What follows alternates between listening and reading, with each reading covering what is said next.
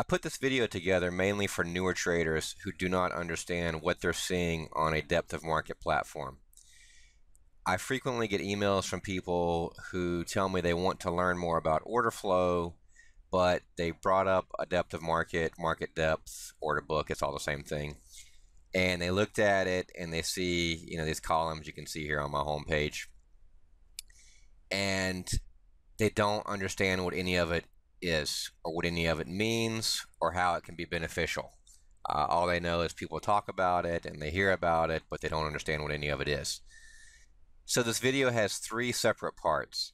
In part one, what I do is I show you exactly what you're seeing on a depth of market platform. I explain the difference between limit and market orders, the bids, the offers, uh, the prints that you're seeing on the inside column, uh, volume profile. And anyone who does not have a clear understanding of what they are seeing should be able to understand it once they get through part one. It takes a little bit of time, but I break it down and make it as simple as possible. I use some very simple diagrams to replicate what you would see uh, if you saw people at a market negotiating uh, on the price of a product. And I show how that crosses over to the depth of market platform. In part two of this video, I explain the benefits of the depth of market platform. I explain why it is that people who watch the order book have an advantage over people who do not watch the order book. And I do some comparisons between technical analysis trading and trading off uh, the depth of market. And again, once you watch this, it should become very clear as to why you want to watch a depth of market whenever you're trading. And in part three of the video, I briefly cover the mathematics involved in giving up the bid ask spread unnecessarily. And what I mean by that is sometimes it's very obvious that you can place a limit order, for example, on the, the bid and get the fill uh, instead of using a market order to pay up a tick, and you save that tick by using a limit order instead of a market order. And I cover all of this in part three. Some people are already aware of it, but I've actually uh, talked to guys who've been trading for years, five, six years, that have never broken down the mathematics involved in that. And again, typically they're people that didn't spend a lot of time looking at the depth of market and they never had an idea of what kind of an impact just that small detail can have on your bottom line. So if you're an inexperienced trader who does not understand what it is you're seeing on the depth of market, then you will obviously want to start with part one and go through the entire video. It is a bit longer than I anticipated, but I tried to shorten it up more than it is now, and it just didn't work. It needs every part for it to be understood properly. So you can watch it over the course of a few days. You know, you don't have to sit here for an hour and a half. If that's not your thing, you can watch 20 minutes a day for a few days in a row. Or maybe you're a person who doesn't mind sitting for an hour and a half. But if you don't understand, you do want to take the time to watch it. If you are an experienced trader who understands what it is that you're seeing on the depth of market, you still may want to watch part two and part three. I will mark in the description box uh, the time frame where you'll skip ahead to uh, to see those.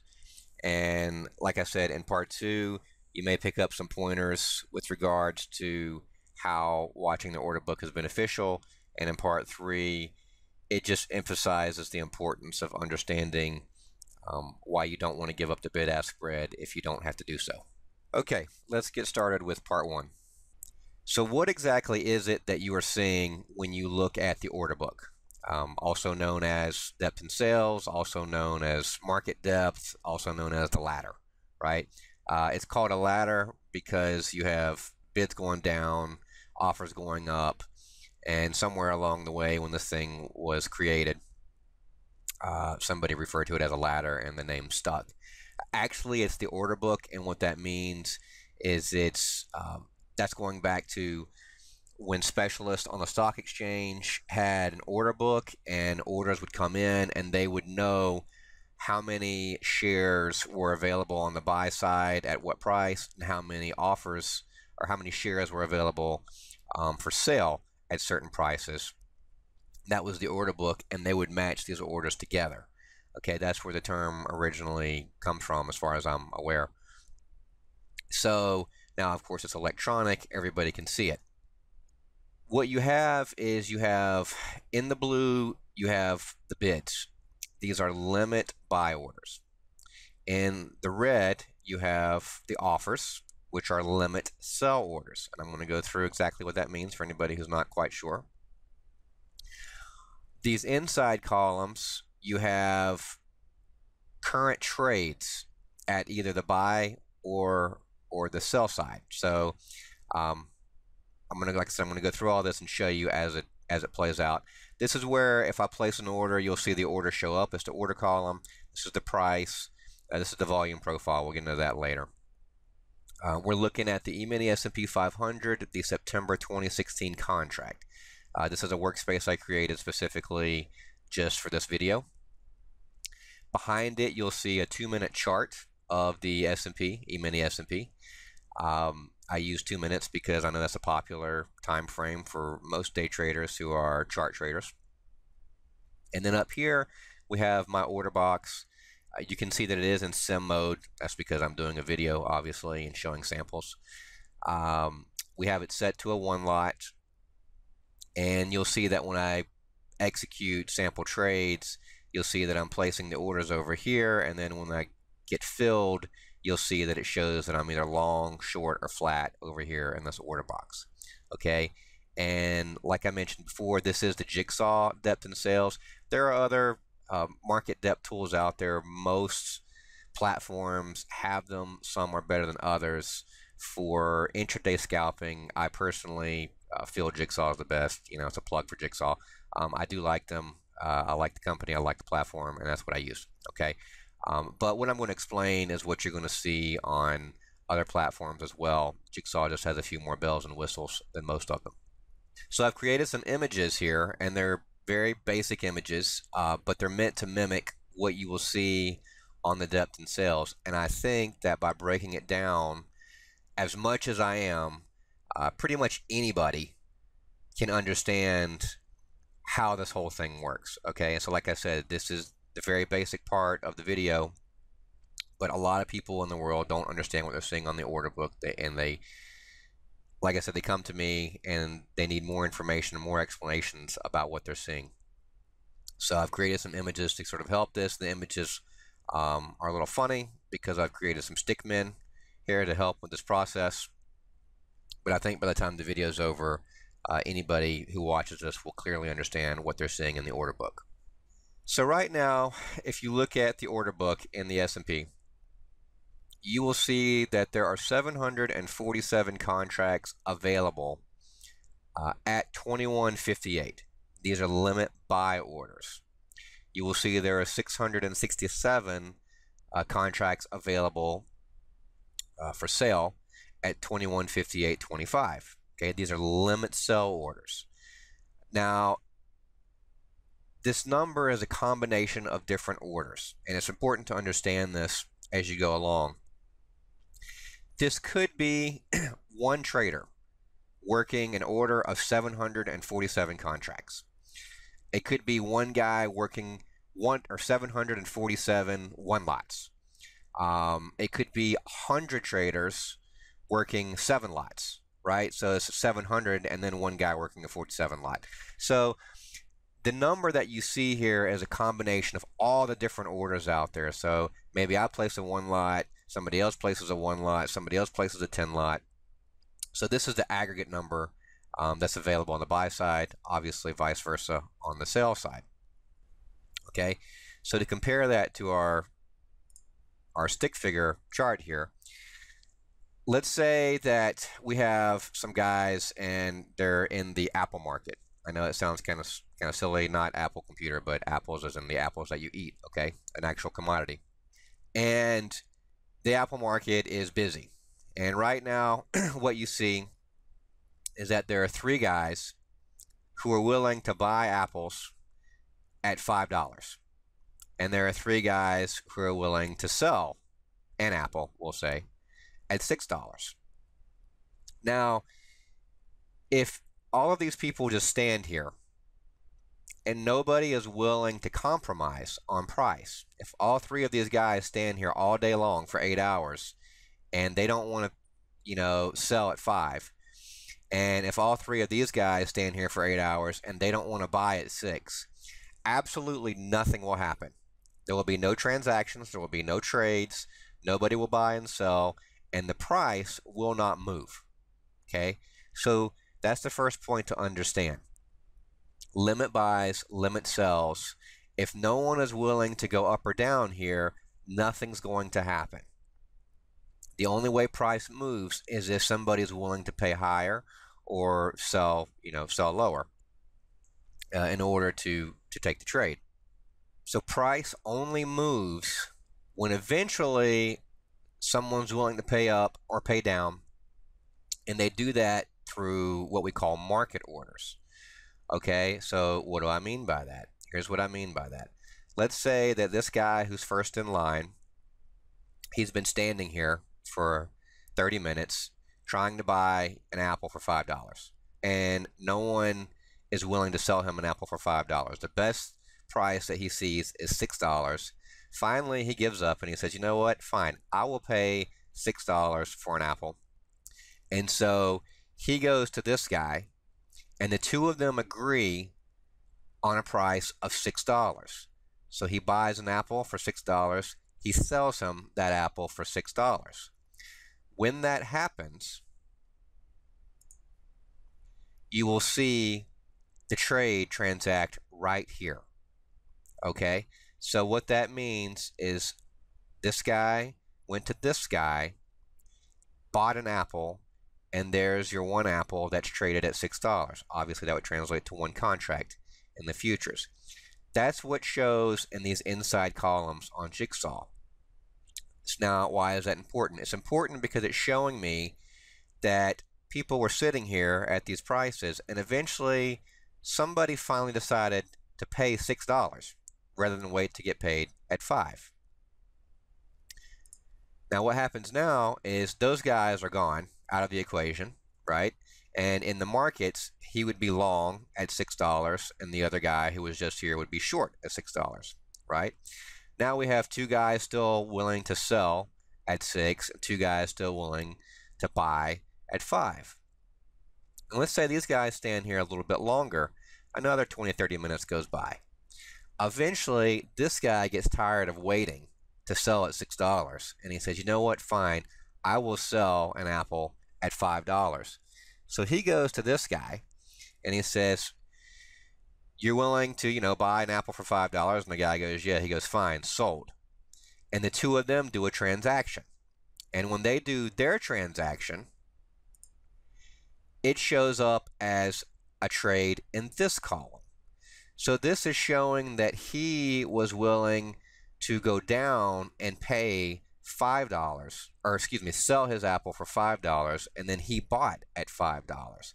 So we saw one transaction take place at 6, and then we saw another transaction take place at 5. And when that happens, those two guys are now gone, right? Now this guy is long at $5, this guy is short at $5. Whereas the first guy is short at $6 and the first guy is long at $6 because they agreed upon their transaction at 6 And the first guy who bought at $6, if he's still standing around, he's pretty annoyed because he realizes if he had stood there for another 20 or 30 minutes, he would have been able to buy that apple for $5 instead of $6. So this is how it works going back and forth in this situation. Now, let's compare this to what we would see on a depth of market. What you can see is I've cleared, you can see it up here, it, it captured the uh, little box. Says clear current trades. So what's happened is that I've cleared all the trades in the center box. You can do this at any time when you have your, your depth of sales open. And what you're going to see is there's going to be a trade that transacts right here at 2158.25. Now you'll see there's 667 on the offer, right? right there a five lot trades. So what this means is that five contracts transacted at 2158.25.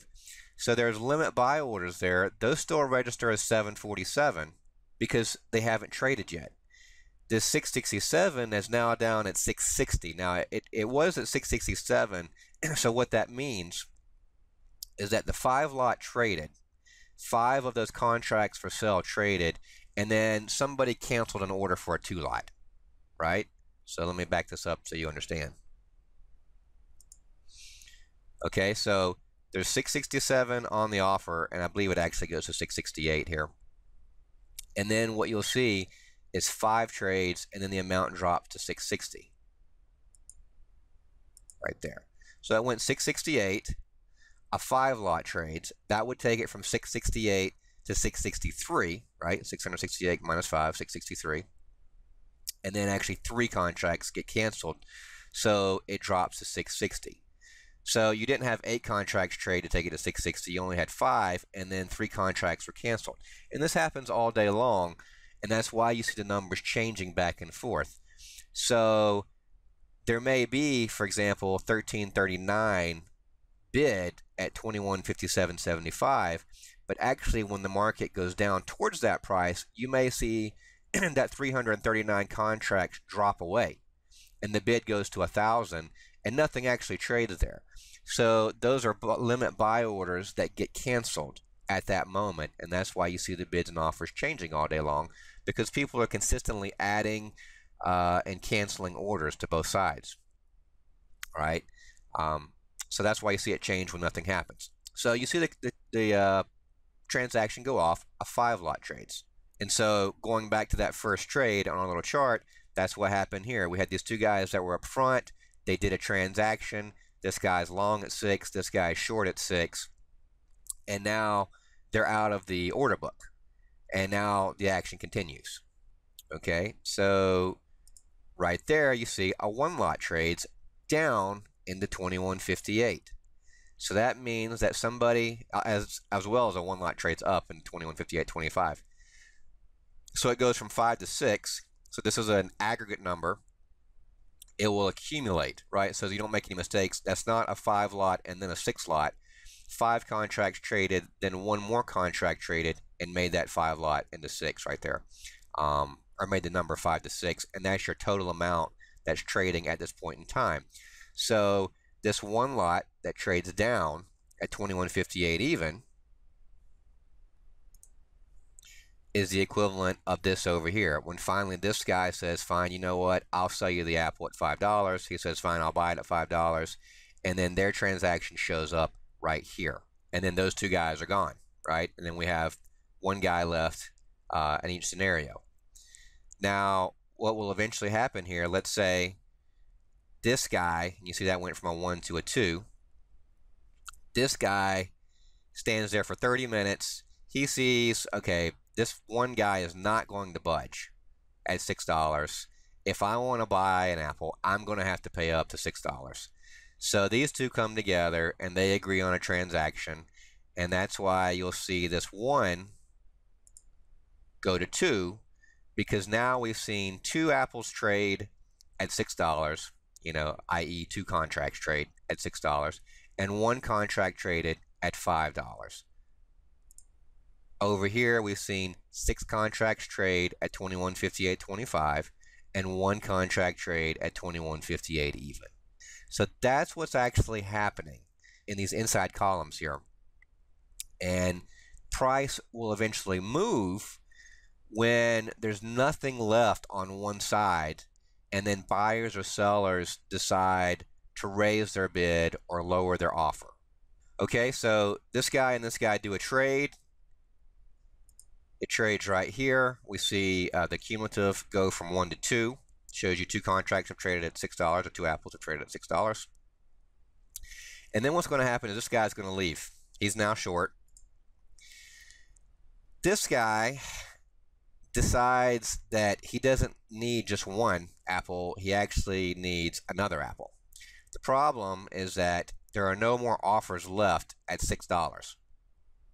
The only apples available are up here at $7. And you can see that you have four different people up here who are willing to sell at 7 in the same way you have three willing to buy at 4 down here. Um, and then you have one guy, let's say, at 3 and two guys at 8. Uh, so obviously this equates with the bids below and the offers above on your depth of market. So now this guy says, well, I'm clearly not going to be able to buy at this moment at $5. So let me raise my bid to 6 I just bought an apple at 6 Let me see if I can get another one here. Let me see if this guy right here might be willing to come down to $6. So he now raises his bid to $6 and he's bidding at 6 waiting to see if he can get filled there. When that happens, what we say in the industry is that uh, sixes just went bid. Okay, so what does that mean? It means that you had offers at six, you had bids at five. Back it up even more. You had an offer at six, a bid at five. Um, so the market is currently five bid at six. Means your limit bids are at five, your limit offers are at six. Okay. You'll hear me use the term they hit, um, meaning a buyer hits an offer or a seller hits a buyer. So in this situation, the buyer hits the seller's offer at six, and that's why the transaction takes place there. When that happens, your seller is filled, he's out. Now, when the buyer decides to move his bid up from five to six, now we are six bid at seven. Okay, so sixes go bid. If it went the other way, obviously, and someone came from six to five, then we would say that fives went offer. They went offer at five, meaning sellers moved their offer down from six to five. Okay, and by the way, when you see the market go up or down here on the inside, that's where you, where you get the term uptick, downtick. You know, it's an uptick. Obviously, if it goes um, from a price up to the next price, it's a downtick. If it goes from the last price uh, down a price. Okay, so this buyer transacts at six he now raises his bid to six in an effort to try and buy from one of these guys who's offering at seven. Now, going back to our depth of market, what we're going to see is we're going to see the market go down uh, briefly a tick before going back up. So it's going to be the opposite of what we're seeing on our little diagrams. Um, but you'll get the point. So you can see that there's 753 here on the bid still available.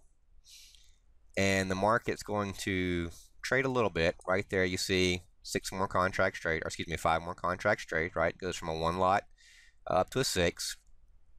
And then what's going to happen is sellers are going to agree to sell at 21.58 even.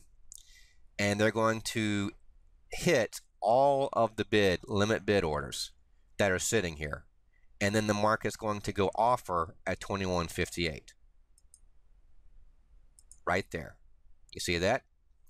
So what happened there is the sellers who were sitting at 2158.25 maybe some of them or just sellers sitting on the sidelines you you know it, it can be a combination finally decide hey you know what? I'm not going to try to get filled at 2158.25 I'm willing to sell at 21.58. And so they hit all of these orders at 21.58 and you'll see 734 traded into the bid as sellers used market sell orders to hit a limit buy order. Okay? And that's what shows up in this column right here.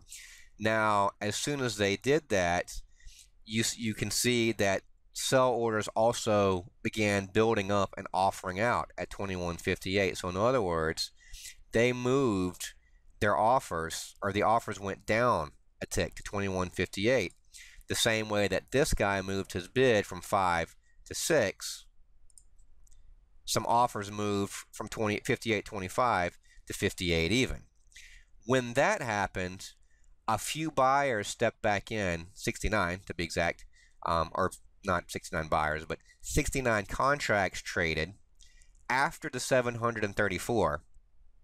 And the reason they show in blue is because the market was already limit offer at that point. So it ticks down, contracts begin building up, and of course this happens in the blink of an eye, um, but sometimes it's fast, sometimes not that fast. And then some buyers come back in and say, you know what, I'll buy 69 more contracts at 58 And that's what we see here. We also see that a few sellers now basically get a little concerned, most likely is what happens here, and sell 24 contracts into 57.75. So there was a limit bid sitting here. The market goes offer at 58 even, and then some sell orders are triggered, and they trigger off at 57.75. Right? So at this moment in time, what we've seen is uh, just over 800 contracts trade at 58. Six have traded at 58.25, and 24 have traded at 57.75. So hopefully this is all coming together and, and making more sense for you.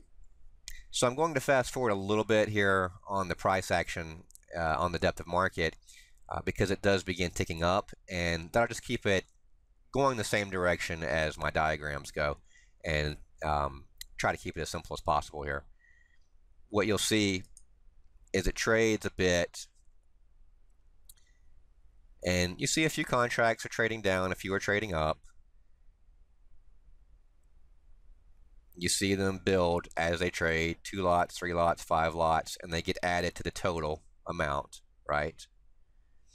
And then what happens is they end up buying back through now at 58.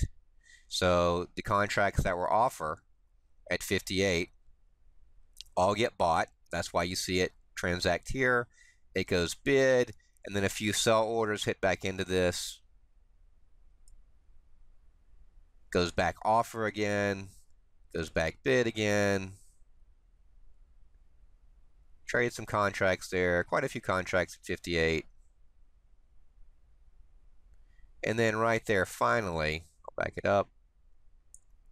You're going to see that buyers are going to hit into 58.25 and this offer is going to disappear and they're going to go bid at 58.25. And so you see over 600 traded, you're going to see that in blue because it means buyers or attacking sell orders um, or hitting into sell orders at 25. And then you see this quick print of 373 in red. And what that means is as soon as this was lifted, 373 contracts go bid at 58.25, right? The same way we have one guy move up to six from five to six. We have orders come in at 58.25, and sellers, more sellers, are willing to sell another 373 contracts back into that bid. Now the bid is still building and it's still a bid at 58.25. So that means if you still want to sell at 58.25, you can still sell 316 contracts there. There's still a bid. But that's why you see action, or excuse me, prints in both blue and red. It's showing buyers hitting the offer and then sellers hitting the new bid. Okay. So now going back to our diagram, we have the one guy who bought at six. He decided he needed another apple, so he now moves his bid up to six, hoping that somebody offering at seven will do a transaction with him at six.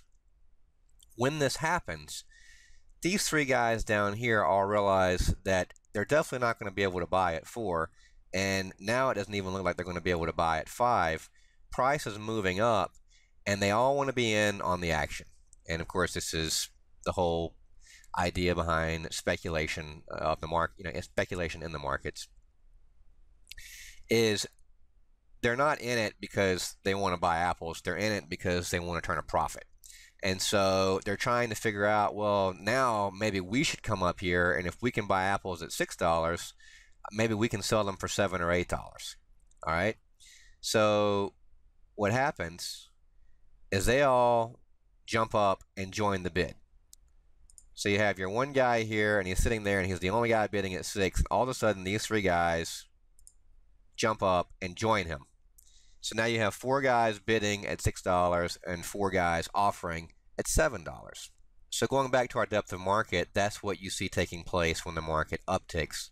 Um, if we re rewind just a little bit here, you'll see that they buy at 25 right there.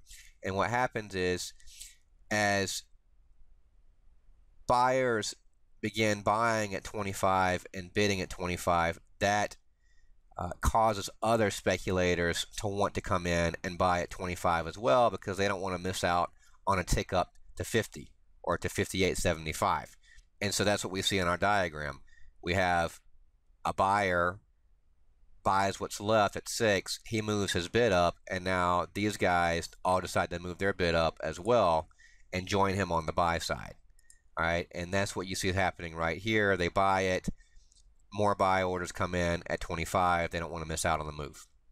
Okay, so things look a little bit interesting now because buyers are moving up their their bids and the sellers are not hitting back into the bid at six. None of these guys is willing to pay down and sell at six. All of them are standing their ground and just leaving their limit sell orders out. And since none of these guys want to pay eight or nine or miss out on a potential uh, profit opportunity, all of them decide to buy at seven. And when that happens, you see four print right here. And it, it prints right here because these four guys all decided to do a transaction at seven with these four guys. And so it's once again buyers hitting into limit sell orders. So they're using buy market orders to hit into a limit sell order. So now they're all long at $7, and these four guys are short at $7. So then when this transaction takes place, the sellers at 7 are now gone. And here's where it becomes interesting particularly when you have people that are making very short-term plays or doing short-term speculation, which is what most people are doing these days, most programs. That's why they're called HFT. They're high-frequency trading, very short-term type trades. All of these guys buy at 7, and immediately they turn around and offer at 8 because they're looking for a short-term profit. They buy at seven, they turn around, they want to sell at eight, and they want to capture that one dollar of profit. There's a problem with that though. Now, only one person is bidding at seven dollars. Some straggler over here, I say straggler, some guy over here who's missed it at five, he's missed it at six he doesn't want to miss out and he goes, you know what? Okay, I'll buy at 7 too. And he puts his bid out here. But there's a problem. There's only one guy on the bid and there are six guys on the offer. Well, clearly, if this guy sees that there are six people willing to sell at $8 and he's the only guy willing to buy at 7 most likely he'll be able to buy at 7 One of these guys will eventually say, you know what? We're not going to get filled at 8 or I'm not going to get filled at 8. I'll go ahead and pay down and sell at $7. And when that happens, you see this right here. Okay? Market goes back down. One trades between this guy and this guy. and then what will happen is the trades on the way up will eventually they, they clear out. Uh, and there are certain parameters you can set. We won't get into that today. But this side will clear out and you'll see the market begins to hit back down into the bid. So if we go back to our order book workspace, we'll see a similar thing here. The bid will follow up. It'll trade a little bit back and forth.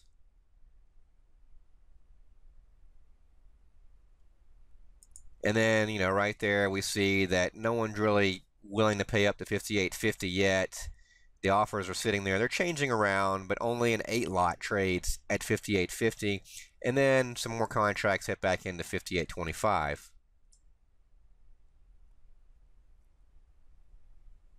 few more trade at 58.50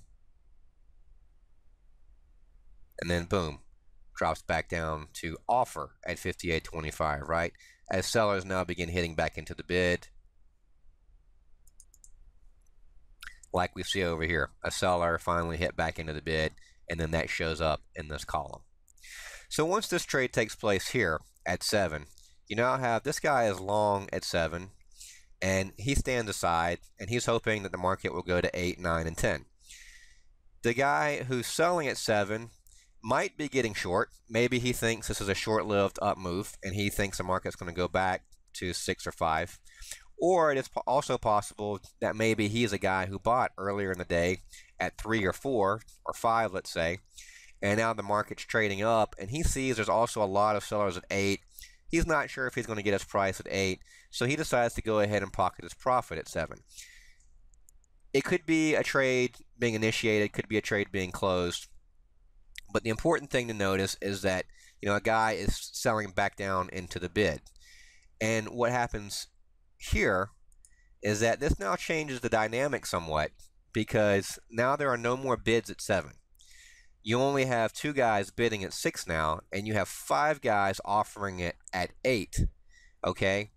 And four of those guys are guys who bought at 7 looking for a profit. So they buy at 7 hoping to make a profit at 8 and now none of them are able to get filled at 8 and this concerns them. And so there are no bids at 7. There are only bids at 6. Well, they don't want to lose money. So what they do is they all drop lower and now move their offer to 7. And they're trying to scratch their trade at break even now. Okay, that's what they're hoping. They're hoping that at least these two guys will pay up and, and hit seven, and then the two guys in front can at least break even uh, on the trade that they made at seven when they got long at seven, tried to sell at eight. They can't sell at eight. Now they're trying to, to scratch the trade or break even at seven. This is how momentum can shift in the markets. And this is why it's so important to understand what you're seeing in the order book and why you should be watching it.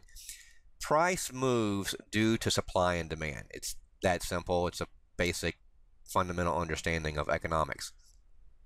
And what we're seeing at first, what we were seeing is there was a bit more demand than supply. Buyers were willing to pay up, supply disappeared. Buyers were willing to pay up, supply disappeared.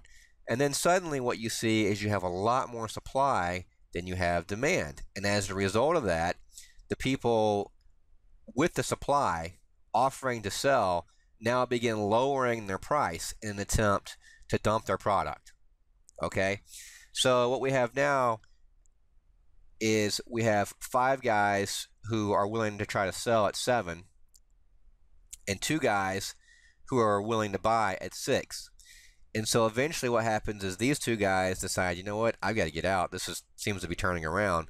And they do trades with these two guys. And that shows up right here.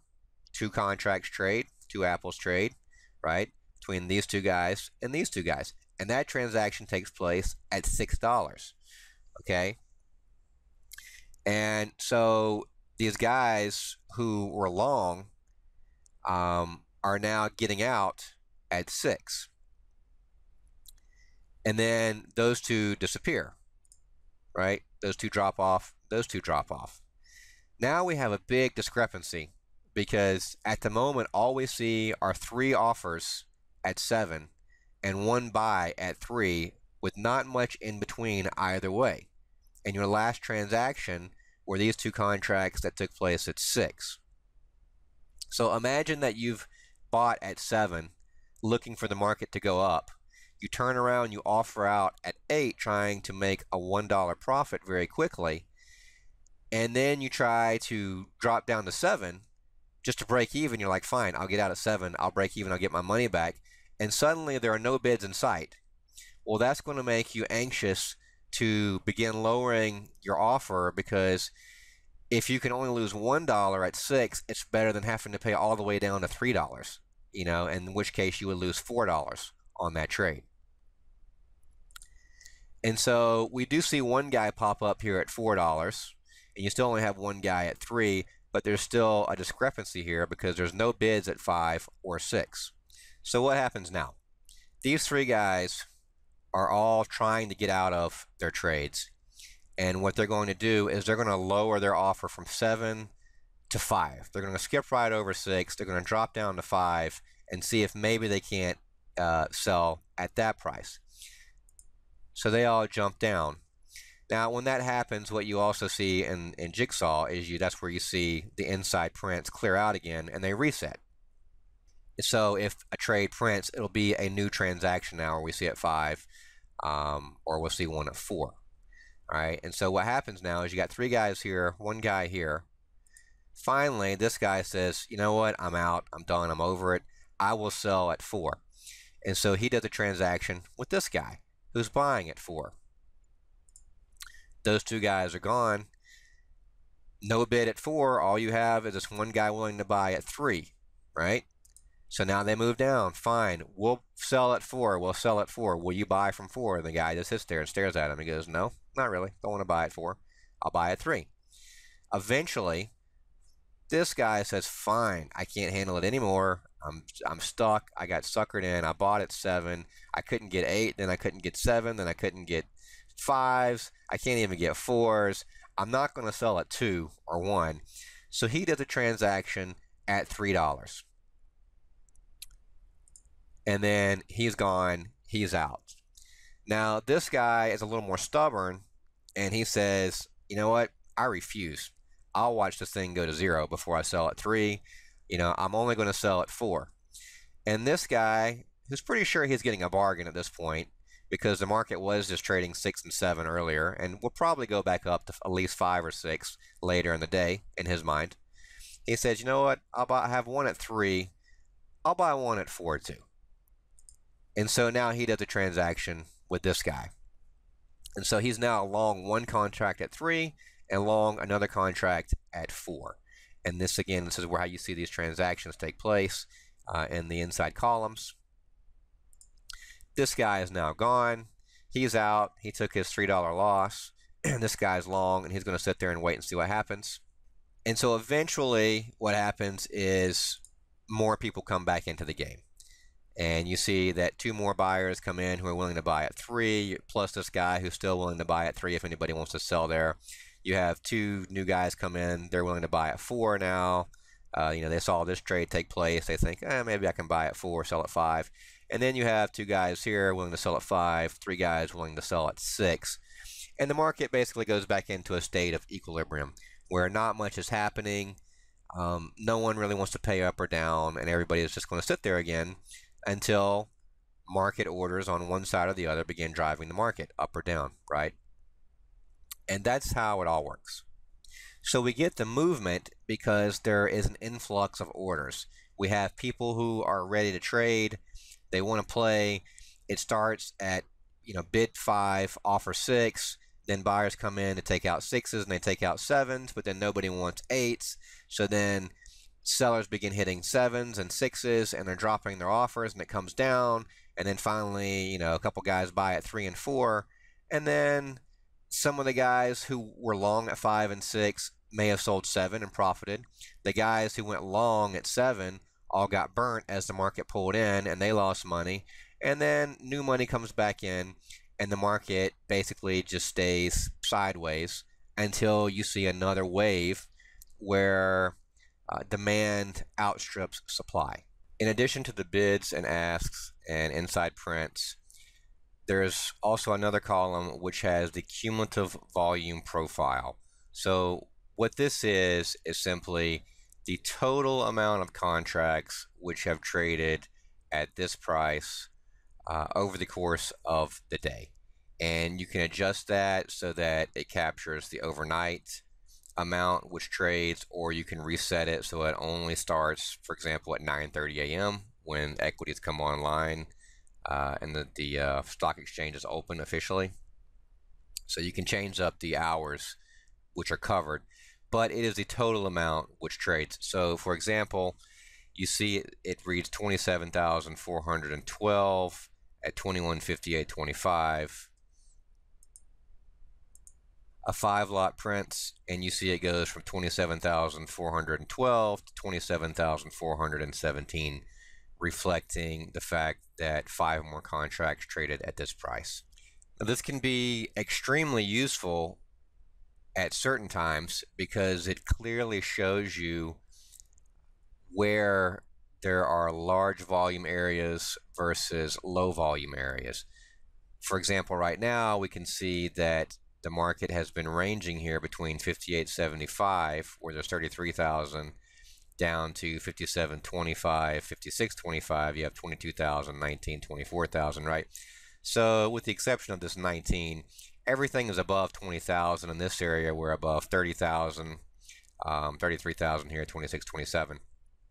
So, these types of areas that build up often act as consolidation areas or areas of support or resistance. For example, if the market moved up a bit and then came back down into this area frequently the market will pause and bounce a little bit because everybody sees it's an area of high volume, or vice versa if it goes down and comes back up. And so you can see clearly that there's more interest in activity from both the buy and the sell side between 58.75 and 56.75 than there was at 59 and above here. You see there's a lot less volume. And you can see how the market fell through that pretty easily on this down move on the chart here. You see it from about 61.50 all the way down to 57. Uh, and you can see how there's lower volume in this area and then higher volume again in this area, which is where it ends up finding some temporary support. Now, sometimes this information is useful, sometimes not. It depends on the scenario, but you definitely do want to have this up throughout the day. It can be really helpful during certain time periods and in certain types of price action. This is different than market profile, so don't confuse the two. Uh, you may have never heard of market profile, and if you haven't, that's okay. But a lot of people use traditional market profile charts, and those are volume based, but they're also connected to the amount of time which passes with the volume. So they are two different things. This is simply the overall volume at each price throughout the course of this one particular day, whereas market profile charts will often go back three, four, five days or longer and the high volume, low volume areas will be separated based on a uh, an amount of time which someone programs in as their uh, parameter, whatever it is they want to use. Jigsaw also has a few more columns which you can add in. That goes beyond the scope of this video here. If you do understand everything you see here and you decide to check out the platform and start using the order book, then obviously you can go to the Jigsaw site and go through the videos there and the manual and see all the other features which are available. All right, so quickly I'm just going to show you how you place orders uh, on the platform. Um, again, just so you understand the basics of it. Uh, let's say I want to sell at 2158.75, but I don't want to sell at 2158.50. What I would do is I put my cursor over 2158.75 and whenever I click you see right there you can see it turns into a little hand I place an order right there so what does this show me it shows that I have placed a sell limit order uh, for a one contract at 2158.75 and this is your estimated position in the queue, which means I'm basically last. So you see there were 356 there. I placed my one lot. I'm at 357. Um, right now I'm last in line. and what that means is all these contracts have to trade or some of them have to be canceled and then the rest have to trade in order for me to get filled. But the only way that I'm going to get filled on this order is if buyers use buy market orders to hit these limit sell orders. So I'm going to have to see trades take place here in order for me to get filled. We can let this play out.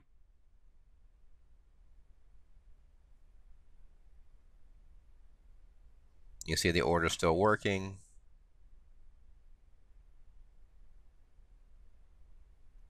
Not a lot happening at this moment. and then there it trades. So as soon as it trades, you see that the order disappears from the order column. The price goes red to indicate that I'm short. And you'll see there's a little negative one in my order box up here. And that means I'm now short one contract uh, at 2158.75. All right. So in this scenario, what I did just to show again using a limit order is I'm going to end up placing a, a buy limit order at 2158.50 right there. You see now I've placed a buy limit order. Um, again, I'm obviously last in the queue or last in line since I was joining after everybody else who's put orders there.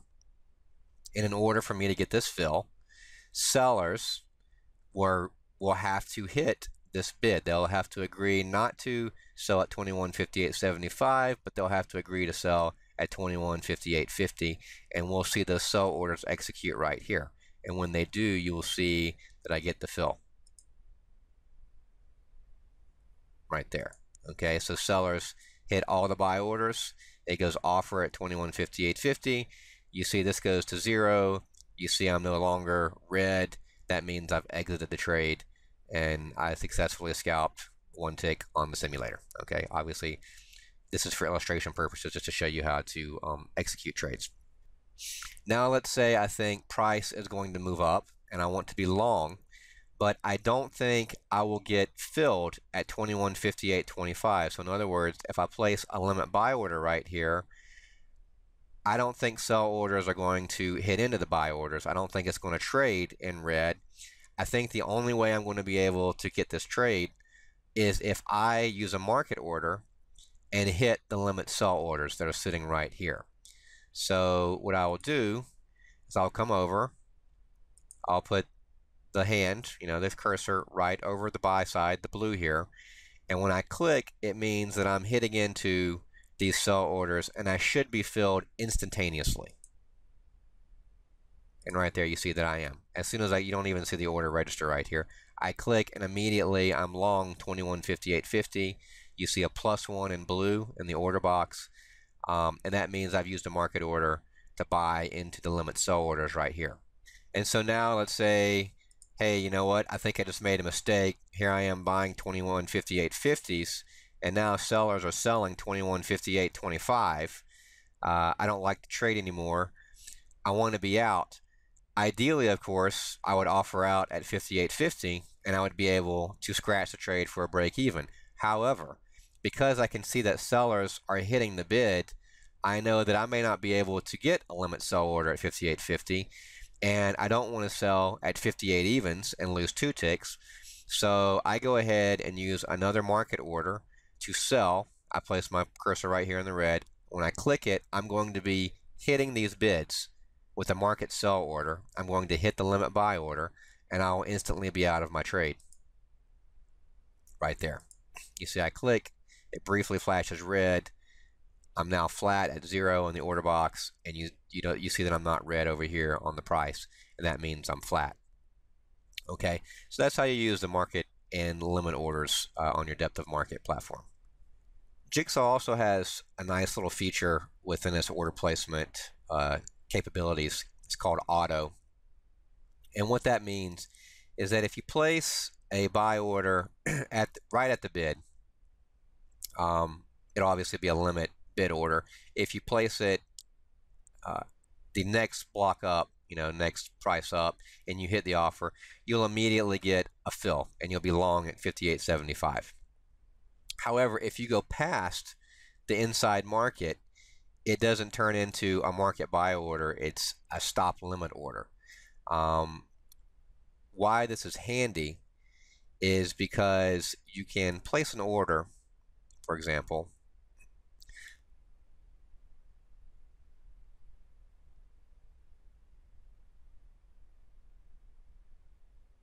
And so let's say right here I'm filled, right? I'm long 5850s.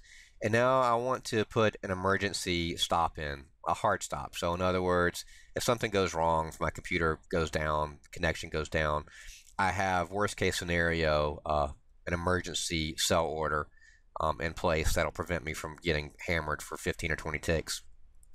So without changing anything at all within the order box, I can just bring my cursor down,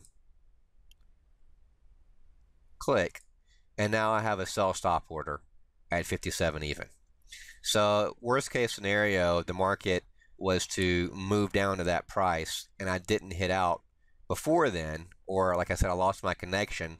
Um, and now the market's moving against my favor and I can't log on and I'm trying to get on the phone to get out of the position, you know, but the market gets here first, that'll trigger off a stop market order and I will, um, as soon as it trades at 57, it'll become a market sell order and it'll get me out of the trade.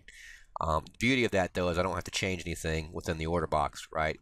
So that order can sit there, and then if I go up and you'll see that I go to hit out at market, it will cancel, order cancels order, this uh, emergency stop.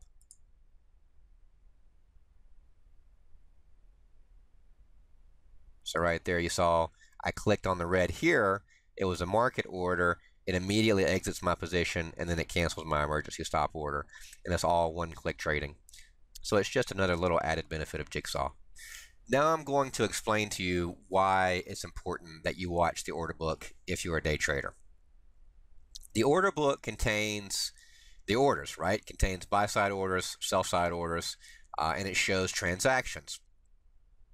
It is showing you supply and demand, like I discussed earlier in this video.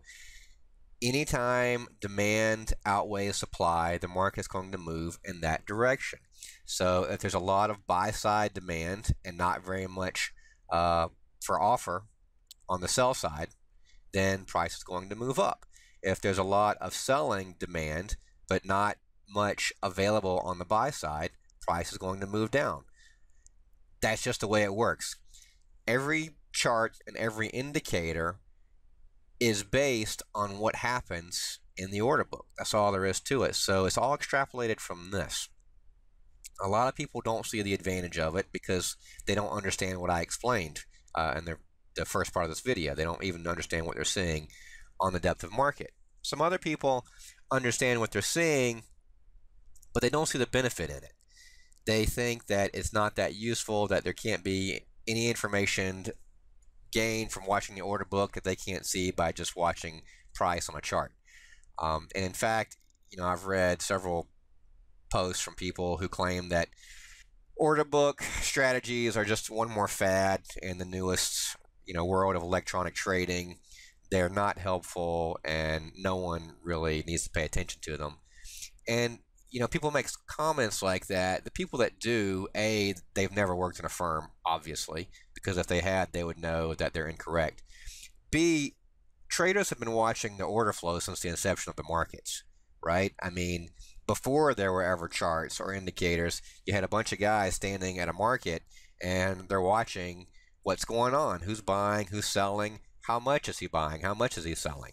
And based on that, do I think the market, or excuse me, do I think the price is going to go up or down? So I'm just going to show you a couple of examples of ways that this is useful. Now, the most obvious example would be in a situation where clearly there's more sell side pressure um, than buy side pressure. So there's more demand, in other words, for going short than there is for going long or for buying. The first place that you would notice that would be in the actual depth itself. So, for example, let's use this diagram to explain a potential setup. Let's say that the market has been moving down. And let's say that 5 is a technical support area. Okay, the market stopped at 5 yesterday or the day before or whatever. And now people are looking at this as a technical uh, potential buy side trade. If you're just looking at a chart, all you see is that price is approaching five. It's trading sevens and it's trading six. Now it's trading five. Um, what do I do? If you're looking at an order book, what you may see is that the market went through the bids at seven very easily. So sellers hit 400 trades down, only 100 comes back in at 7. Then sellers take out everything at 6. 500 trade at 6 from sellers using market orders to attack the bid. And then when it goes offer, you only have 50 contracts trade as buy market orders back into the offer. And now what you see is you have 950 contracts offered at 6 and you only have 400 bid at 5. If you go back to our earlier diagrams of where I was showing people on the bid and offer, it equates to one of those situations. I'll bring it up for you. Now, it's obviously not quite this exaggerated, but it's a situation where you have a lot more sellers showing their hand at 8 and only one guy buying at 7, right? So here we have more people offering out at six than we have willing to buy at five. And in addition to that, you're already seeing sellers trade down into the bid. So sellers are using market orders to hit the limit buy orders in the same way that this guy ends up finally hitting this guy's bid at 7. So to show you that, right, one trades at 7, and then there's nobody there. So now all these sellers still want to sell. They have to lower their offer down to 7, okay? And so that's what's been happening here. Sellers hit 7s. Eventually there's no more limit buy orders. They now have to lower their offer to 7. Then they take out everything at 6 there's no more limit buy order to six. Now they have to lower their offer to six. And now you're seeing there's more offers at six than there are bids at five. And already sellers are beginning to attack the bids at five. Now, in this scenario, even though this might be a technical support area at five, a person watching the order book can clearly see sellers have control. They're hitting bid, they're going offer. They're hitting the bid, they're going offer. They're already hitting the bid there would be no reason to step in front of that pressure as a buyer right here. It doesn't make any sense when you can clearly see that there is more sell side depth than there is buy side depth, and when you can see that sellers are aggressively using market orders to hit into bids and then offer out lower. If a person is contemplating a buy order right here and he can see this happening, a guy watching the order book would say, you know what, maybe I don't want to buy five right here. And then in that scenario, what could possibly happen? And of course, I mean, it varies depending on moment to moment and day to day. But what might happen is you see that the sellers take out fives and fours, which would make sense, right? So notice you'll have 400 left on the bid here, 350 on the bid here at four. And what happens is sellers end up selling everything else here, this 400, which will make this be 500 and then sellers will go for the bid at 4. There's 350 here, and then you'll see 350 here, like so. And so they sell, they offer out, and then 350 more trade here at 4, and they offer out. Okay? And as long as sellers are hammering the bids and offering lower, there would be no reason to step up and place a buy order there. Now, if you're trading strictly off of a chart or you're looking at the technicals and you just randomly, not randomly, but you have a limit buy order working at five because, hey, I'm looking for support to hold, you're completely missing out on the information in the order book, which is cluing you into the fact that the market's probably going to go through five. It may not go from five to one, but it's probably going to go from five to four, five to three. And so the chart trader who has a bid here gets filled as the market blasts right through him. You know, just because he has a limit bid and he's working the technical, whereas an order book trader who was thinking about a buy may now not buy there and save himself from entering at, at a time when the market is continuing to move down. And in fact, he may completely change his mind. He may originally have thought he was going to buy at 5, but when he begins to see the sell pressure build up and sellers hit the bids, he now turns around and actually sells at 5, looking for the market to break lower because he sees the pressure in the, in the ladder. The order book trader has an advantage because he's watching supply and demand. I mean, it really is that simple. Now, let's look at this a different way. Let's say when the market goes from 8 to 7 to 6, instead of looking like this, where we clearly have a lot of sell side depth and sell side pressure and not so much on the buy side, we see a market that looks like this, where we have more on the buy side depth than we have on the sell side depth. And in addition to that, what we're noticing is that even though it is trading towards 5, we're noticing that a lot is trading on both the red side and the blue side here in our inside columns. So yes, they traded 800 at market orders into the bid at 7, but then there were 600 more that traded into the offer at 7. And then they traded down here at 6. 600 traded as sellers hit the bid, but even though the sellers are offering out at 6, you have a lot of buyers coming back in willing to buy at 6.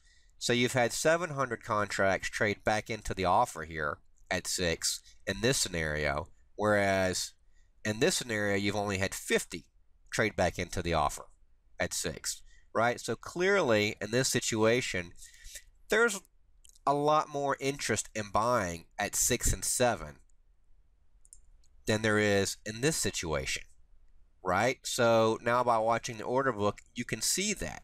Whereas, once again, someone just watching price on a chart only sees trading 6, trading 5, trading 6, trading 7, trading 6, trading 5. They're not seeing how it's trading. Also in this scenario, you can see that no one has even printed a one lot into 5. Okay? So clearly there's a lot more buying interest at 6 and 7 in this scenario. The selling depth, or excuse me, the amount of, of offers, um, amount of depth on the sell side is less than the amount of depth on the buy side. And so far, no one's even wanted to trade a one lot into five. So in a such situation like this, now maybe you do have an order flow trader who was thinking about buying five because it was a te- uh, because it was a technical support area, along with watching the order flow, and he realizes, hey, you know, this might actually be a good buy. I can see that they are currently holding. I can see there is buying interest at six, and in fact, I can't even get filled at five because no one is trading into five. So maybe I'll go ahead and buy six here, looking for the market to go seven, eight, nine. Is it always that crystal clear? No, of course not. But these situations do arise, and this is where looking at the order book can sometimes be helpful to kind of bring that concept over to the actual uh, market depth platform. Now, we're obviously not going to see a run through lows or highs here. We're not going to see fast momentum. But I do want to show you something, and it's just a good example of how you can see a little bit of momentum for a tick or two, um, how it plays out in the order book at times. Notice that there's 295 on the bid, and there's only, excuse me, there's 908 uh, on the offer. And this is where I had did a a sample trade at 2158.50, right? And I'm long and I'm about to hit into this and mark it out and get out of the trade. But what you're going to notice is that this 908 ends up dropping away without any contracts trading. And what that means is contracts are pulling. So you see it goes from 900 to 805. You see that? So it drops from 908 to 541 nothing's traded there. So it's not as though 360 contracts have traded. It's just orders that were there that have now been canceled. And so now your depth is changing. The sell side depth is reducing, and the buy side depth is actually increasing a little bit. It's gone from 200 and something to 352. And now 44 do trade, but more than that goes away because 44 contracts trade, it dropped from 540 to 366. Okay, so 100 and something contracts get canceled again. So now we've seen this depth go from 900 to 366.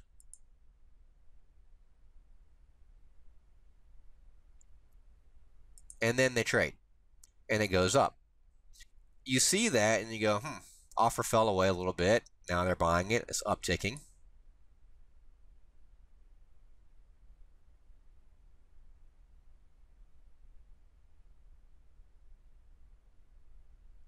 And you can see that even though there's more depth on the offer than depth on the bid, sellers aren't using sell orders to hit into the bid. Buyers are actually having to buy into 59 in order to get their fills now.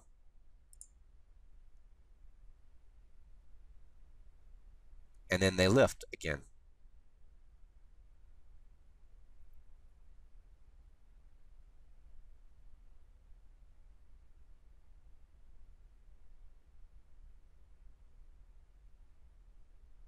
And then it trades back and forth a little bit. But the point being, there will be situations where you will see depth fall away dramatically. And you'll clearly see when the buy side has control or the sell side has control. And that's what I'm showing you in this. There will be situations where, for example, actually, um, you may see 1200 on the bid here, and the market begins selling down towards it, and that 1200 actually drops away to 400, and immediately the depth builds up on the offer, and sellers begin to hit the bid there at 5.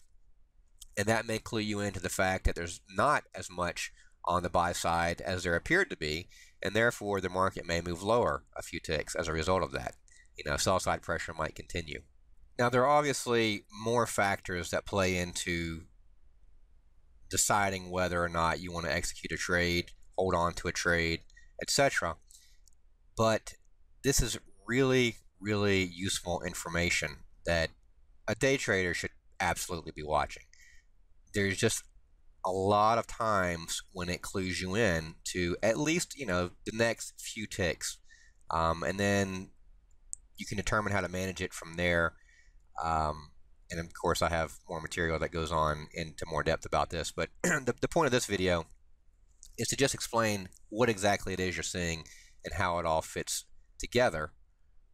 And again, just to kind of show you an idea of the advantage, you obviously see that the market is currently trading 21, you know, 58, and you can see what's happened here, and you can see over here, but so far in this video, you haven't seen what's happened in the interim. So what I'm going to do here is something that most technical analysis courses do not do, which is I'm going to cover the chart so you can't see how it played out and then ask, okay, well, what do you do here? If you're just looking at price and a chart uh, and some indicators, let's say, and even for that matter, market profile, because market profile is obviously useful at times to, to tell you about high volume and low volume areas, but you can get beyond that and fine tune entries and exits even more by watching bids and asks and prints. Okay, and that's what I'm talking about here. If the market's coming down like this, and I've seen that there's been buy side support all morning in this area, it would certainly make sense that this could hold as a support level, right? And it might make for a buy side trade. Um, however, being an order flow trader, I want to watch what the action looks like as it's approaching this level. Okay? And it goes back to what I was just explaining.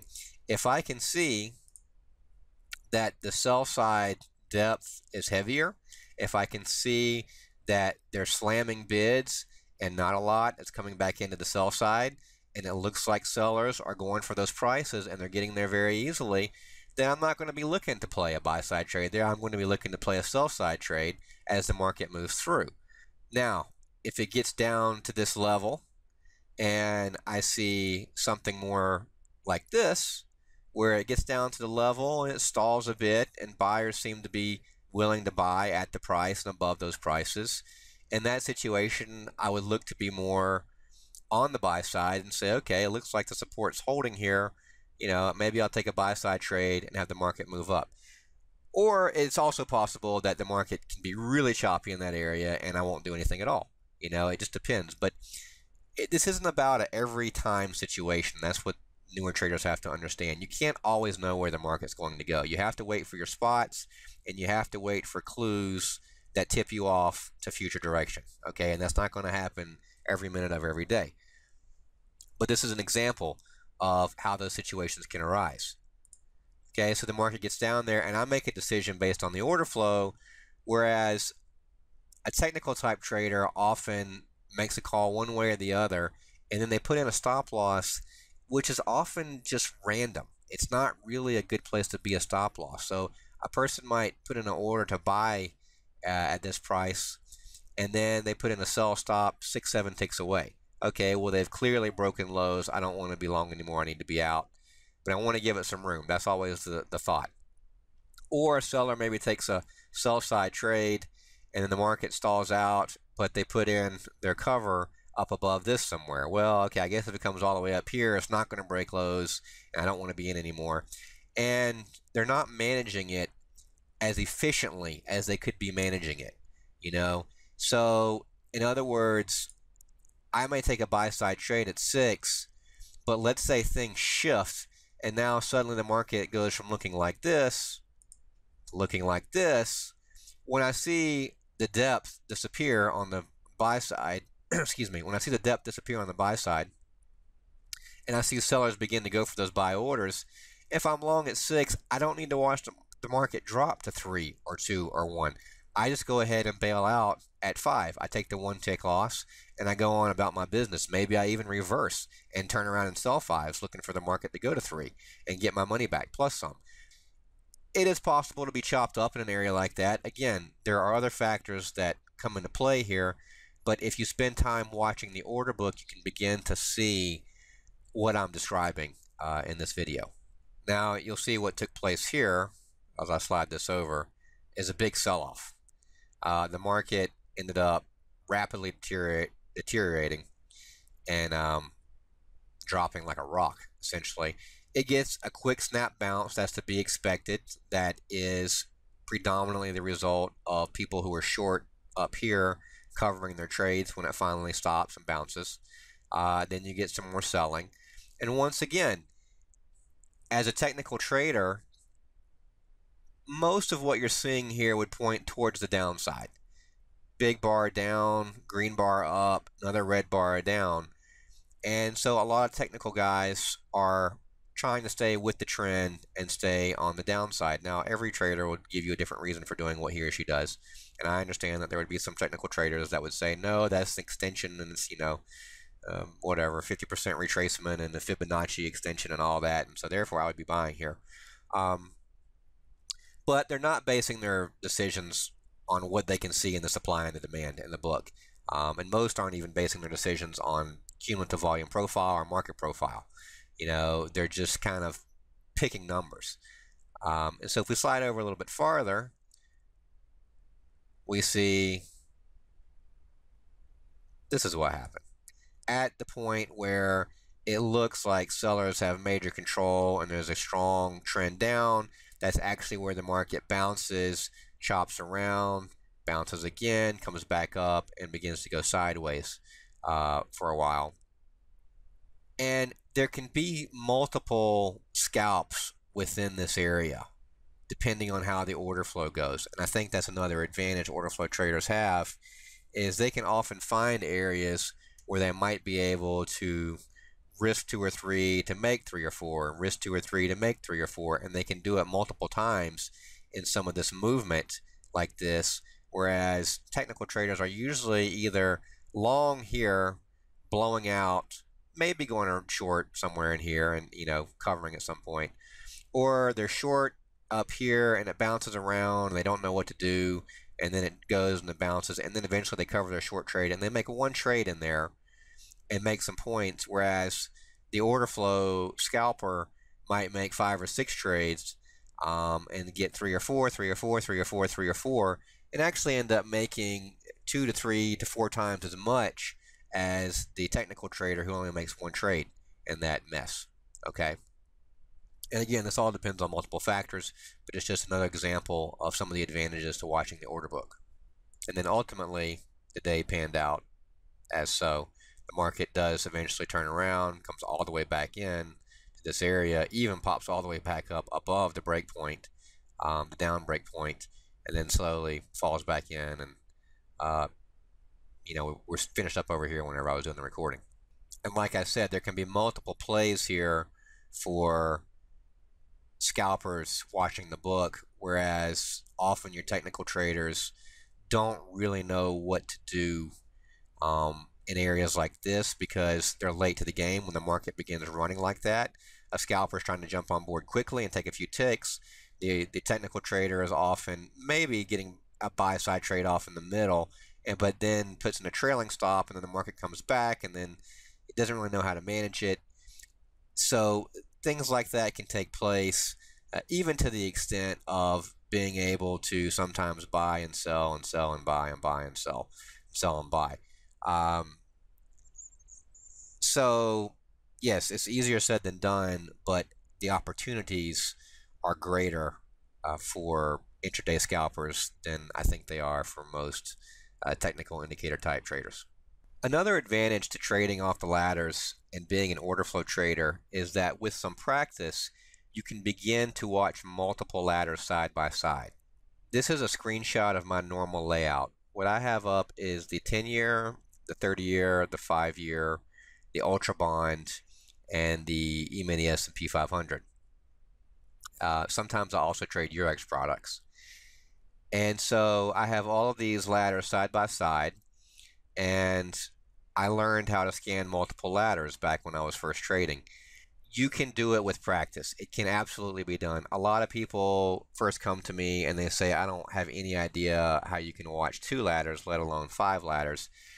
And I say, it just takes some practice. And then within, you know, a month or two, they say, oh, yeah, I can do it too. Um, it's not as hard as I thought it was. It's like anything else. You just you have to do it for a while and then it begins to make sense. Why would you want to watch multiple ladders? Well, for example, in the treasury markets, there's a lot of interplay between these four markets. And sometimes you will see something in one market that you won't see in the others, and that's what tips you off to the next move. So the markets might be moving around, and I may see some action in the 10 year that makes me think, hey, that these markets probably going up, and then I make the trade. Or I may see some action in the five year that makes me think, hey, I think the markets are going down, and then I make the trade. And so it's an advantage, um, actually, an advantage that you get mostly in treasuries. You, you don't see it as frequently in the equity indexes if you're watching the S&P, the Nasdaq, and the Russell, for example. there can be some correlation there, but you see it more often in treasury markets. And so it's just one more edge, one more advantage that you can gain by watching the ladders.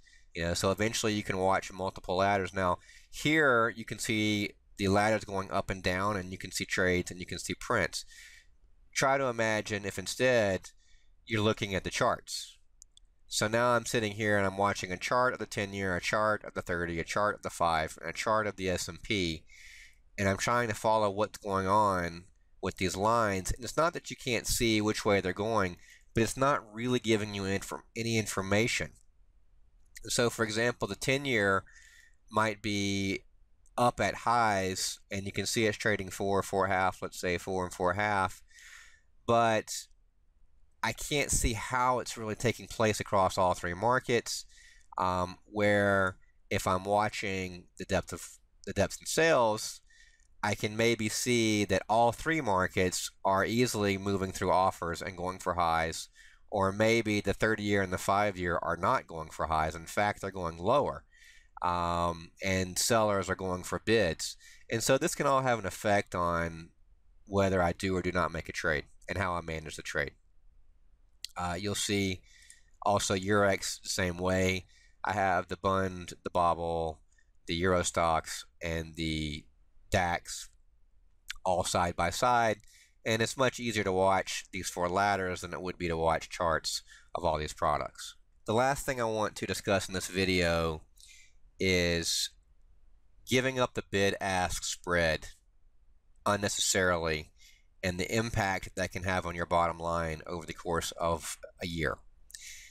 A lot of traders, particularly on the retail side, do not spend enough time studying the mathematics involved in trading.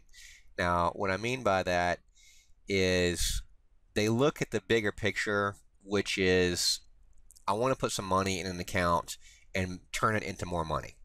Okay, obviously, that's why they're trading, that's why everybody does this. But what they don't do is they don't really look at all the various factors which come into play and how sometimes something that seems to be a small detail can actually end up making a huge difference in the bottom line.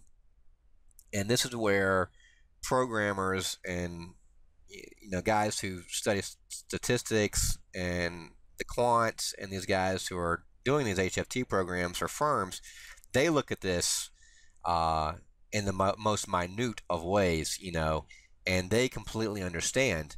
And it's one thing that gives them an edge. So I want to share this with you so that you understand the impact this can have.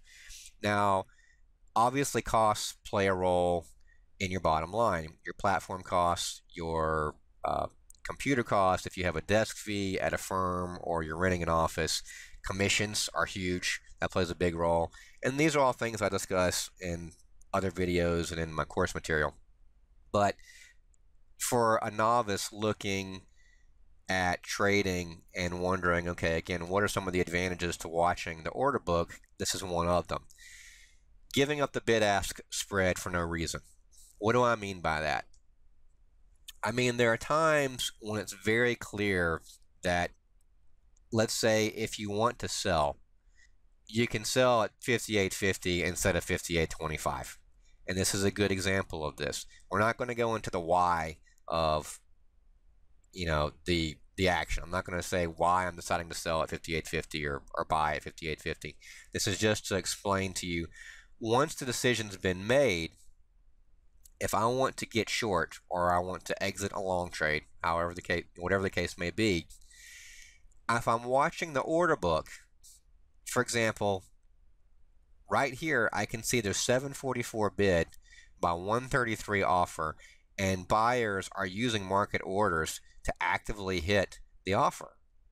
There's no reason for me to click into 58.25 and use a market sell order to exit at 58.25 when I can obviously place an order at 58.50 and get filled.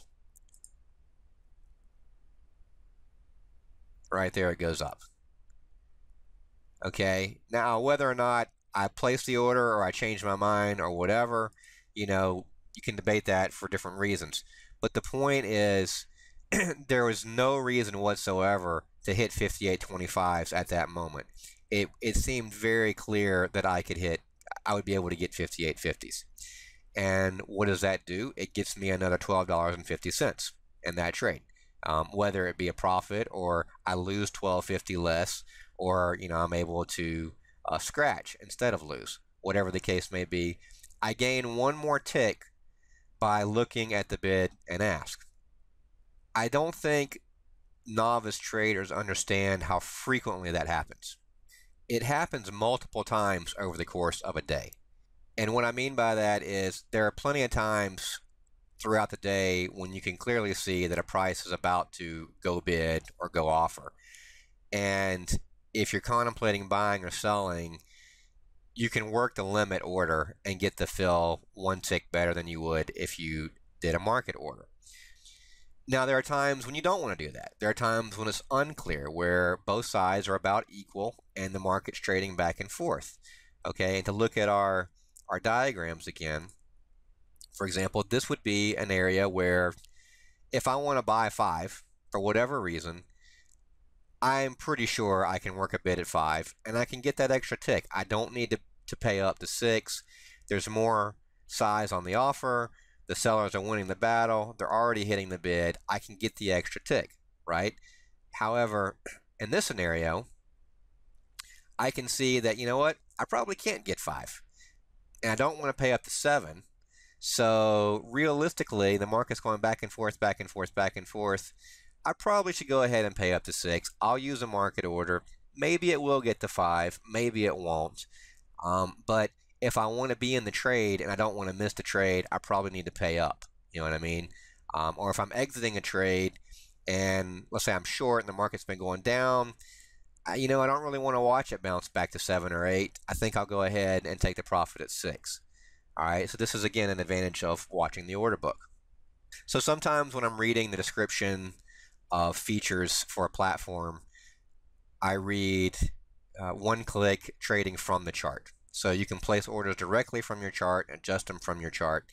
And when I read that, it makes me cringe because all I can think about is, man, how many times are people giving up the bid and the ask when they do that for no reason whatsoever?